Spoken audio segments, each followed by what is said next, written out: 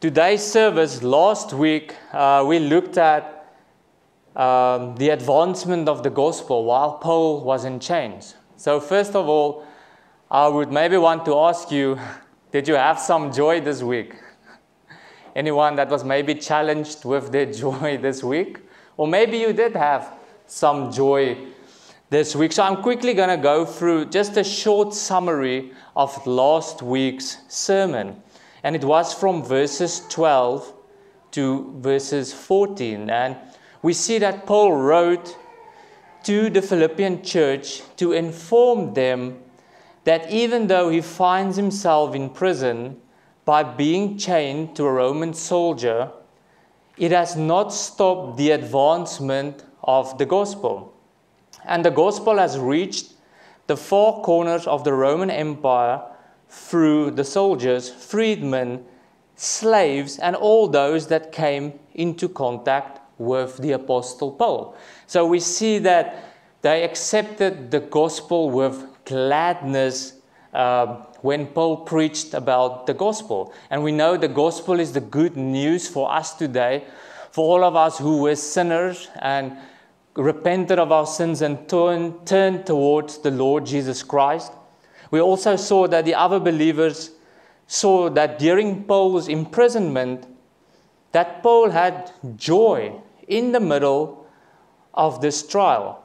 They also saw that God would take care of Paul even in such circumstances, and that God could still use Paul even while he was in prison. We see that the writings in the book of Philippians were marked by being joyful and finding his joy in Christ alone. We also saw, lastly, that Paul wasn't too concerned by being in chains or being in prison as long as the gospel were preached. So we see that Paul's life was marked by being joyful, by rejoicing, by being thankful, and by having hope.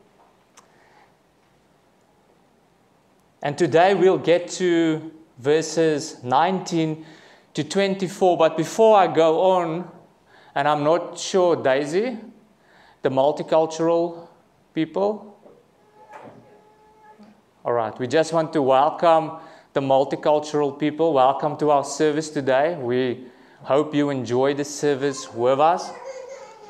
So we'll see uh, at verse 14, but let's quickly just go back to verse 15 to verse 18 of Philippians 1 before we get into today's uh, message. And I'll read for us some indeed preach Christ from envy and rivalry, but others from goodwill. The latter do it out of love, knowing that I'm put here for the defense of the gospel.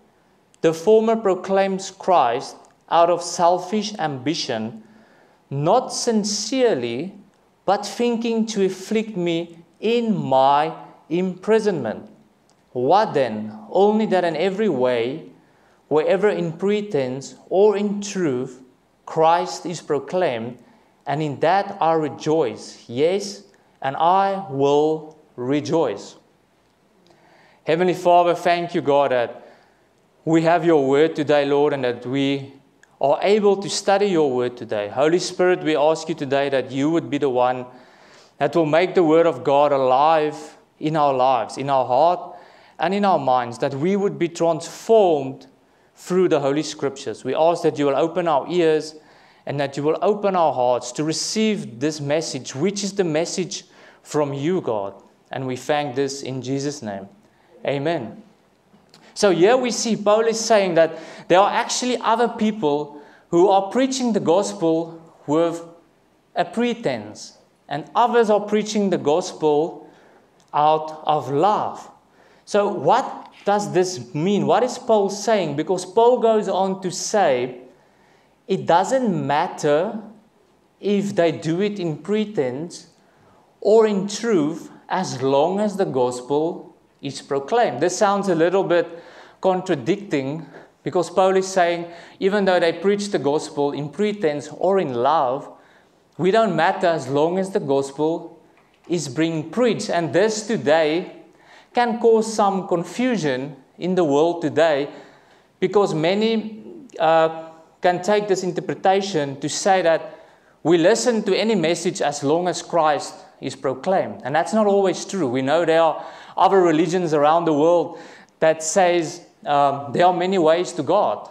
But we know when we read the Bible, there's only one way to God, and that's only through Jesus Christ. We have some churches and some pastors that say there are other ways to God, which is, which is wrong. There's only one way to God. So this can quickly, we can quickly make the wrong interpretation of what Paul is saying here. So what is Paul actually saying to us? What does it mean when he says some are preaching in pretense or truth as long as the gospel is proclaimed? And this is 1 Philippians, oh, sorry, Philippians 1, verse 15 to 18. When we look at this, we will see these people who were preaching in pretense, they preached the Bible correctly.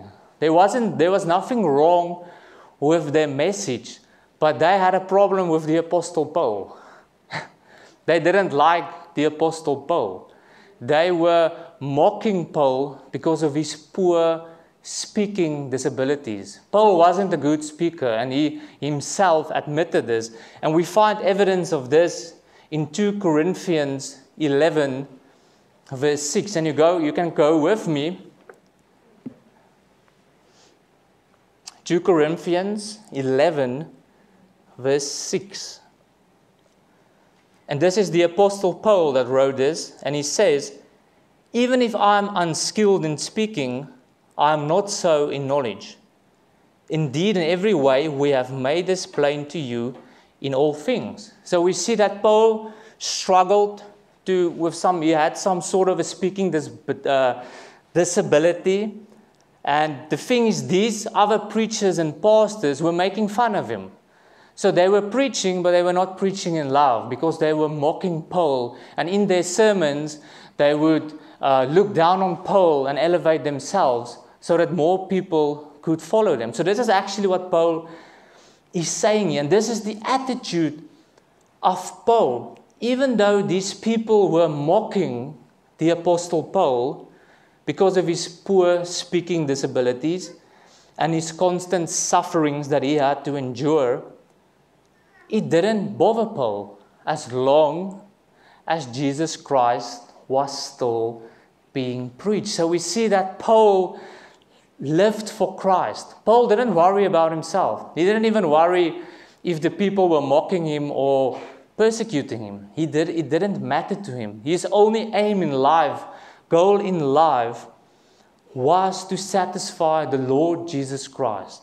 Paul still had joy, even though these false teachers or other teachers that um, preach in pretense had many things to say against him. And that is just a short summary of the last part of Philippians 1 uh, from 12 to 18. And today we'll go on from verse 19, and I hope we get to 24, but the main focus will be from verse 19 to verse 21. And that's Philippians 1 19 to 21. And the theme for today is to live is Christ. And I'll read for us from verse 19. For I know that through your prayers and the help of the Spirit of Jesus Christ, this will turn out for my deliverance. As it is my eager expectation and hope that I will not be at all ashamed, but that but that with full courage now as always, Christ will be honored in my body, whether by life or by death.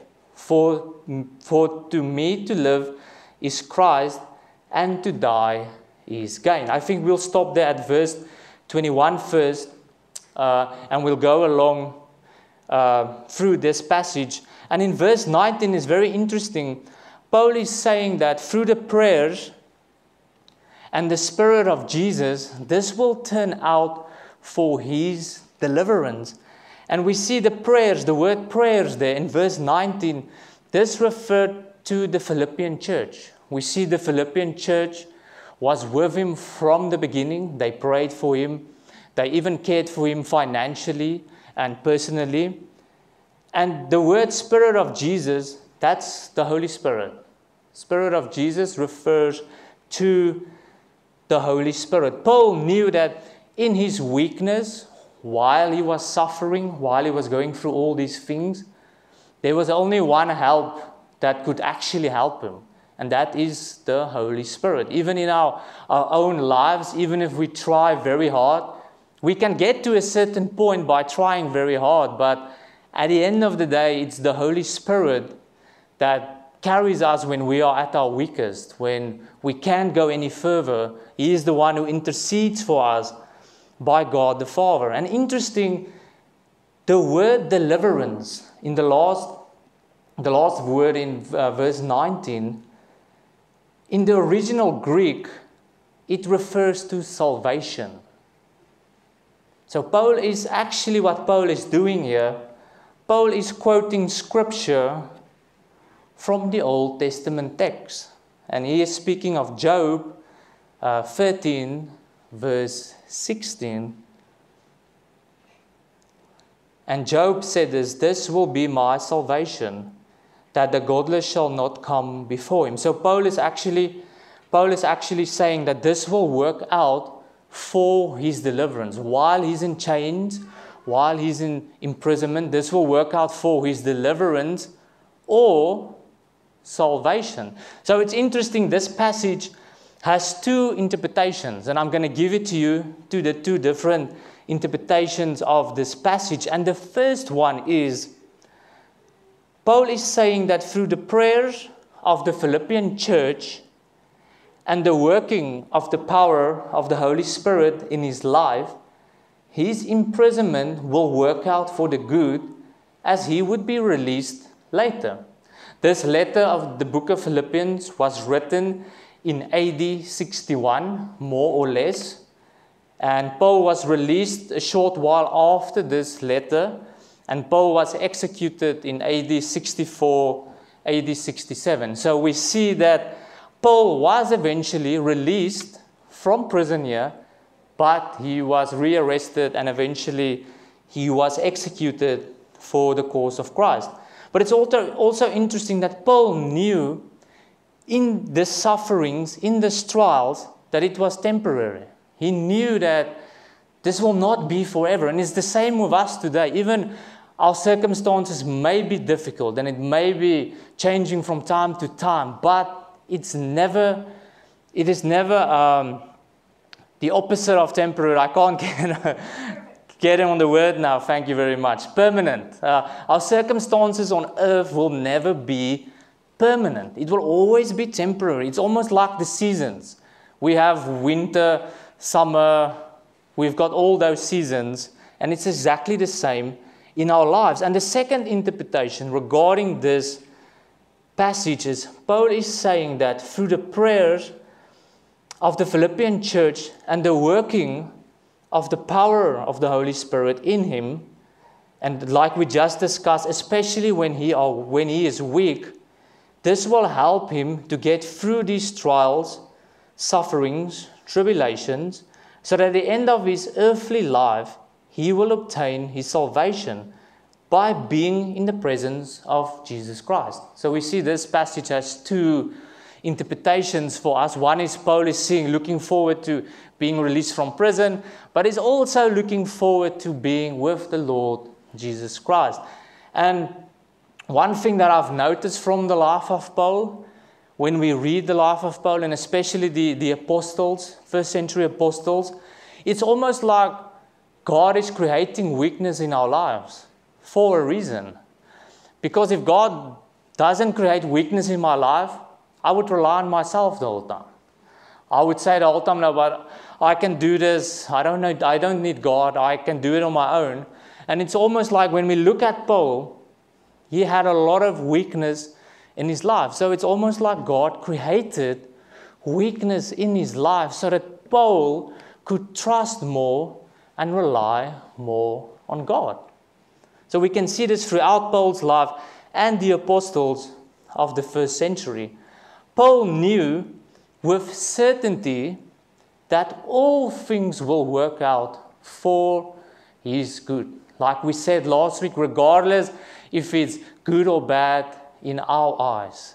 Because we are quick to say, but this is bad and this is good. But in God's eyes, it looks a whole lot different than us because God is not like us and we, we are not like, like God. And in verse 20, Paul is saying, As it is my eager expectation and hope that I will not be at all ashamed, but that with full courage now, as always, Christ will be honored in my body, whether by life or by death.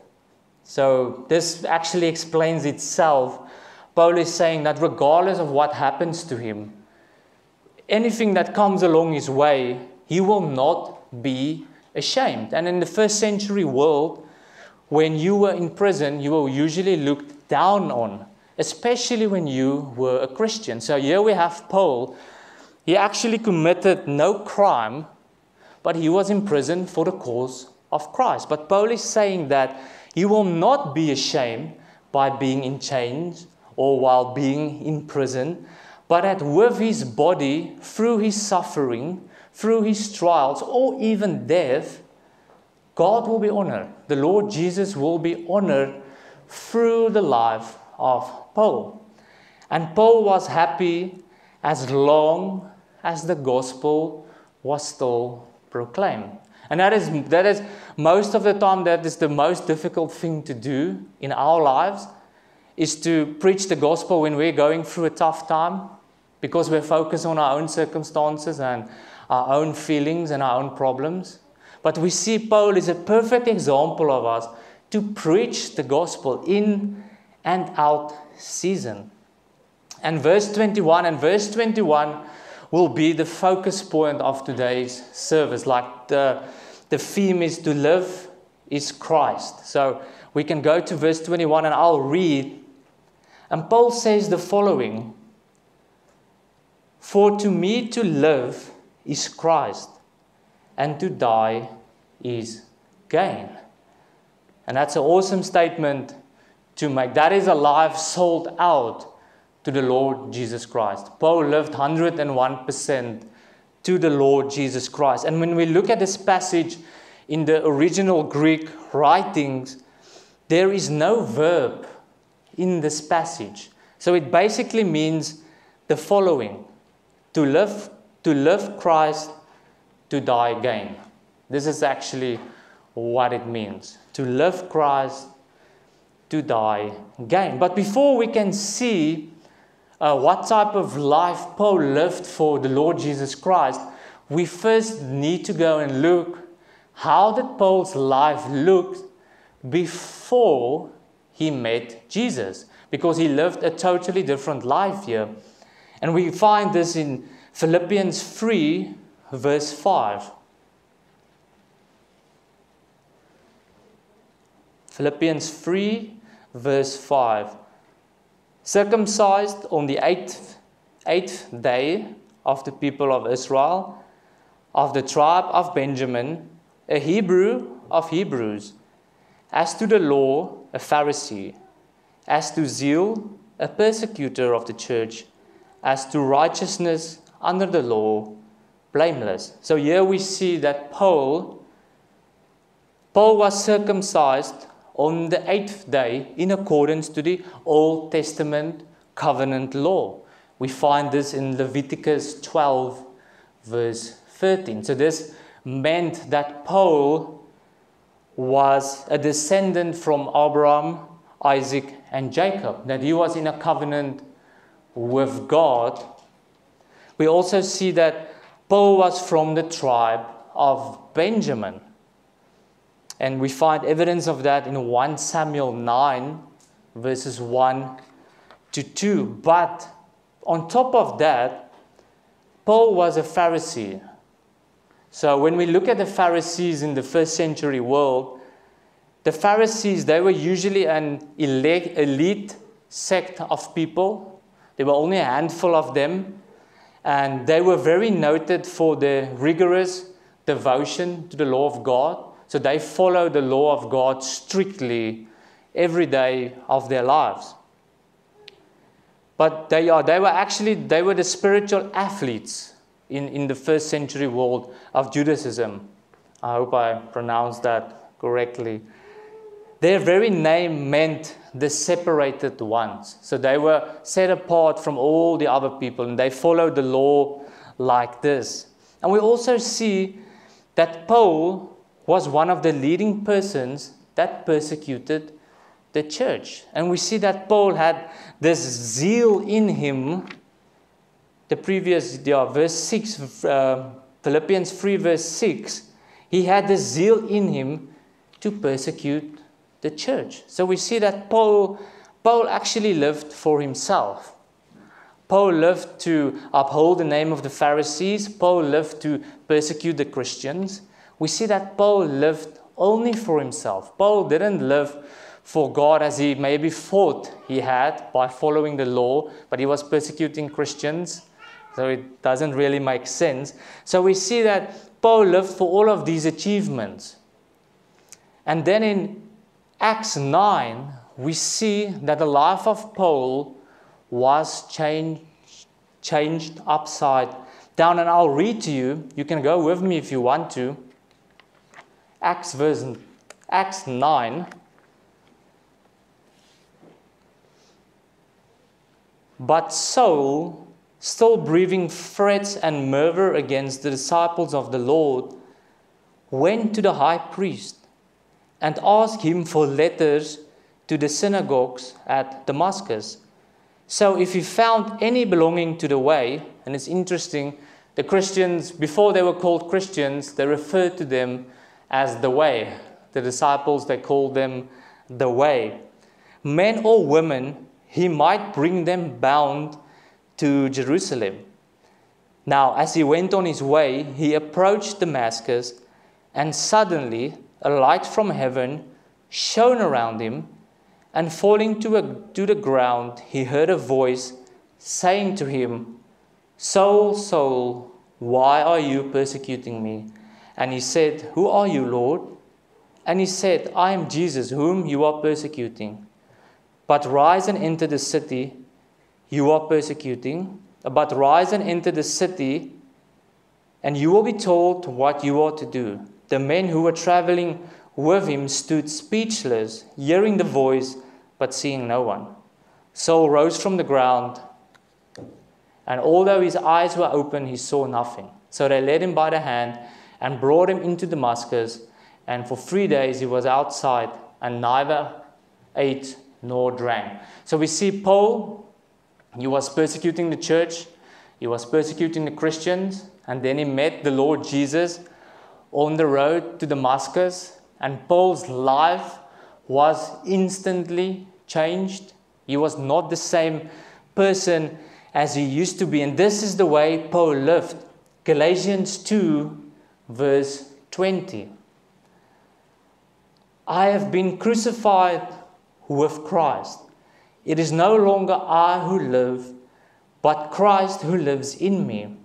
And the life I now live in the flesh, I live by faith in the Son of God, who loved me and gave himself for me. So we see in Acts 8, Paul was a different man. And in Acts 9, we see that he turned around 180 degrees towards the Lord Jesus Christ. We see that Paul wasn't the same. Paul's life was changed when he met the Lord Jesus Christ. And my question to you today is Did your life change the day when you met the Lord Jesus Christ? We see that Paul's life was not the same. He didn't, he didn't live the same way he used to live. And today we can ask ourselves are we living differently today than we lived before we came to the Lord Jesus Christ. Paul realized that his new life was to live for Jesus alone and that all these achievements that he had didn't mean anything, and that his only hope and purpose in life was founded in the Lord Jesus Christ alone. We see that Paul preached for the Lord Jesus Christ. Paul was persecuted for the Lord Jesus Christ. Paul was imprisoned for Jesus, and ultimately, Paul was executed for the Lord Jesus Christ. This uh, Paul's life is a marvelous example of how to live for the Lord Jesus Christ. And we can maybe say, oh, but this was first century world. It was e- more easier for Paul to live this way. The circumstances were different. I still believe what, even though in the first century Paul lived like this, we can still live for Christ like this in all our ways that we live. We see that in the context of this verse and through this whole book of all the letters of Paul, Paul understood that death was not the end for the believer, even for the unbeliever. And the world we live in today, many people think, oh, but this life is all we have.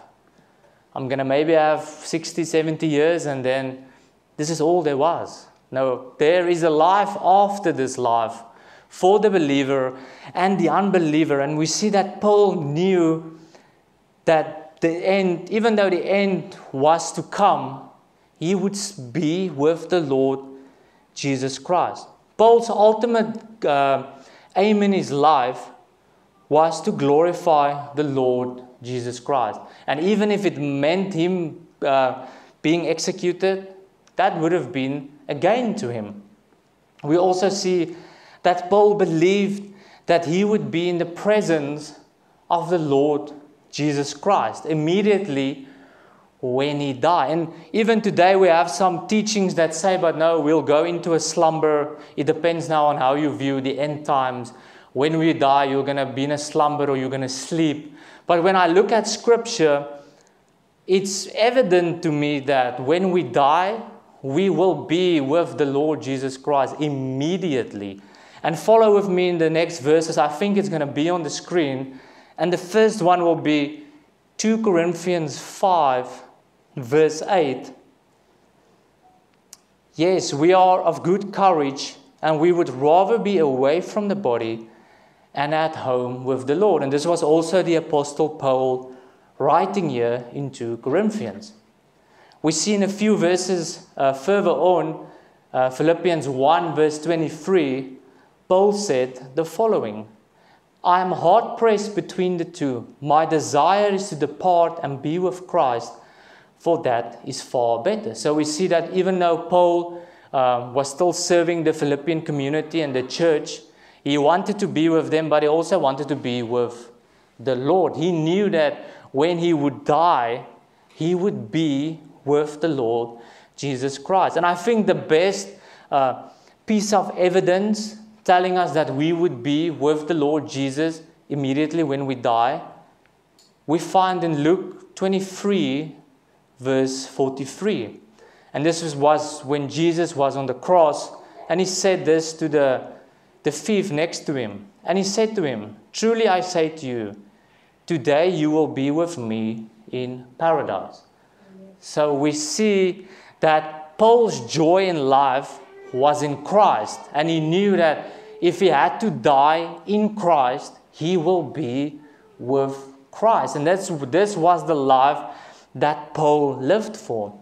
And Charles Spurgeon said the following Though some men may fear dying, no Christian should fear death.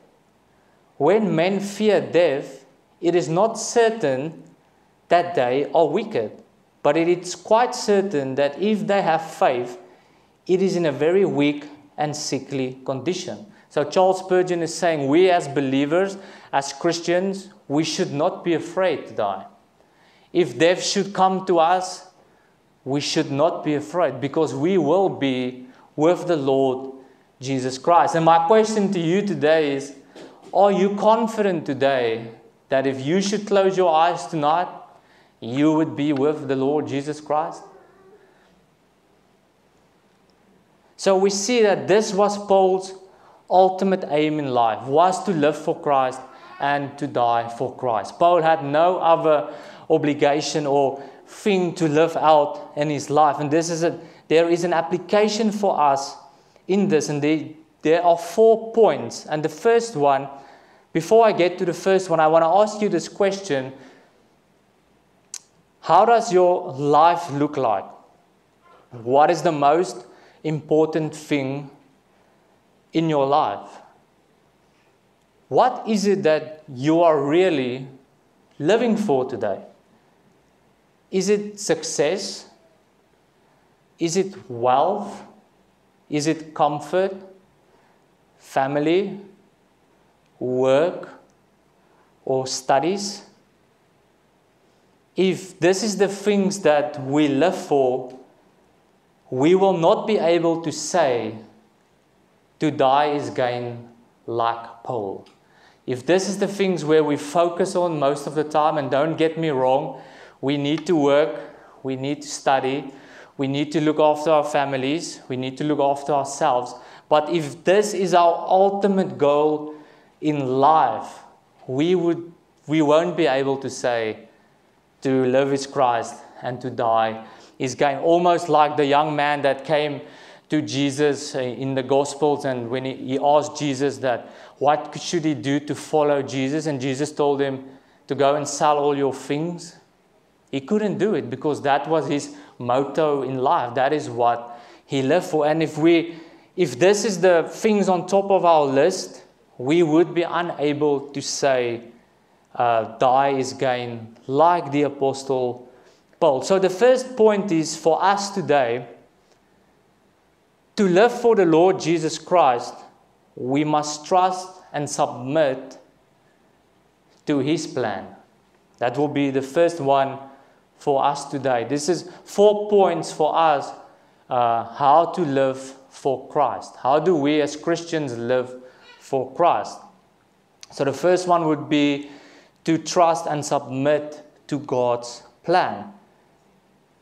So, do we really trust that the circumstances we have in our life is part of God's plan, uh, regardless if it's good or bad?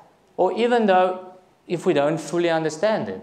Can we say that we still trust you, God? Uh, I don't know where I'm going, Lord, but I still, I still trust you. Can we say this today? And as we see in Luke 22, verse 44, before Jesus was crucified, he said the following Father, if you are willing, remove this cup from me. Nevertheless, not my will, but yours be done. So we even see, we even see Jesus uh, when he started to sweat blood in the garden. He also told God, "But not my will be done, but let your will be done." Can we say this today in our circumstances, even if we don't know what tomorrow will hold or what next week will hold? Can we trust God's plan? Number two would be to live for Christ we must depend on the body of Christ. And the body of the body of Christ, it is us sitting here today. It is not the physical building, it is us the members, the hands and the feet of Christ. We see that throughout Paul's ministry, he relied on the support of the Philippian church. We, as the body of Christ, should rely on each other and help each other where we can through support and prayers. That is what our job is to do. We need to care for one another. We need to pray for one another. We need to reach out to one another. And we see this in Mark 14, verse 34. And Jesus said to them, My soul is very sorrowful, even to death. Remain here and watch. And this is Jesus himself being fully God, being fully man. Before his crucifixion, he asked three of his disciples to please come and pray with him. So we see how important prayer is, and the disciples couldn't pray with the Lord Jesus. They weren't watchful. So we need to rely on each other. Number three will be to live for Christ, we must exalt Christ in everything that we do. And are we exalting Christ in our jobs, our studies, our relationships, or our dealings with uh, strangers, peoples that, people that we don't know, or our enemies? Are we exalting Christ through this? Are we doing everything as unto the Lord without arguing or grumbling? And it's so easy, and I speak of myself first and foremost, to argue or to grumble, but I don't want to do this or I'm not in the mood to do this. How do we exalt Christ in these areas of our lives? How does our jobs look like? Are we still thankful for the jobs we have? Even though it doesn't always go our way, or we're not maybe getting that promotion we ought to get? Or am I uh, exalting God in my studies? Am I putting everything in to exalt Him? How does my relationships look like? My, my marriage, my friends, my, my parents? Uh, am I investing in those things? Am I exalting Christ through these things? And especially strangers, people I meet that I don't know. I can also exalt Christ through that. In Colossians 3, verse 23, whatever you do, work heartily as for the Lord and not for men. So, in everything that we do, we ought to do it unto the Lord, not unto people. But let's go another step further in this. Is Jesus Christ exalted through my trials, tribulations, sickness, and sufferings? Can I exalt Christ through these things that bring me down, that may, makes me to lose focus? Can I exalt Christ in this? And the fourth one, to live for Christ, we must have eternity in our minds. Even though we are living on earth, we are already citizens of heaven, the believers, Philippians 3, verse 20. But our citizenship is in heaven, and from it we await a Savior, the Lord Jesus Christ. Do we still think of eternity? Is there some days where you know that when you die today, you will be with Christ? So we can actually say we are aliens if I look at this passage because our citizenship is in heaven already and we are here. When we face death and our last moment on earth, all that will really matter at that point will be what we did for the Lord Jesus Christ. Nothing else at that time will play a role or matter. May our lives resemble the following motto To live is Christ, to die is gain. This is all that's going to matter at the end of time. We can have many achievements and we can do many things through our lives.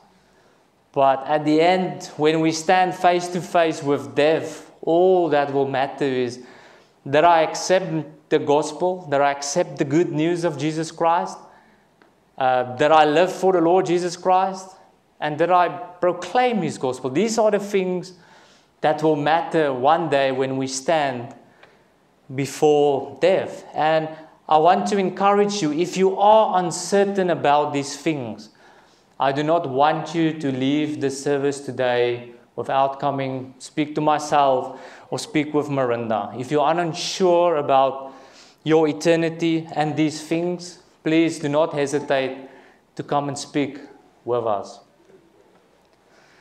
Heavenly Father, we, we say thank you, God. Thank you that we have the privilege of, of being called children of God, but not through our own works or through what we have done, but through your Son, the Lord Jesus Christ. And we thank you today, God. Thank you that you sent your Son to save us from ourselves and to save us from the wrath that has to come upon our lives, God, because we were disobedient, Lord, towards you, God. And we ask you today, Holy Spirit, that you will help us to, to live for Christ every day of our lives, where we go, um, in everything that we do, that that will be our ultimate aim in life, that we will do everything as we would do unto the Lord Jesus Christ, and that we will do nothing from our own selfish ambition or our own desires or passions, but that the Lord Jesus Christ will be the one we live for. I pray today, Holy Spirit, that you will help us, that we will be able to say in confidence, to live is Christ and to die is gain. I pray this in Jesus' name. Amen. May the God of endurance and encouragement grant you to live in such harmony with one another, in accord with Christ Jesus, that together you may, with one voice, glorify the God and Father of our Lord Jesus Christ. Have a wonderful Sunday. Enjoy your vacation tomorrow if you do have vacation, and we'll see all of you next week. Thank you.